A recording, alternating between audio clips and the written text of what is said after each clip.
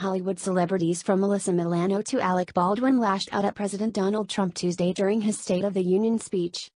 Activist Alyssa Milano kicked off the Hollywood hate train by lecturing America, if Donald Trump is serious about uniting us, he should remember one crucial thing, walls divide.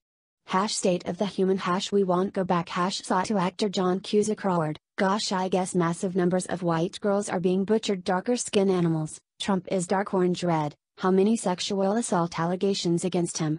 Fuck herself criminal.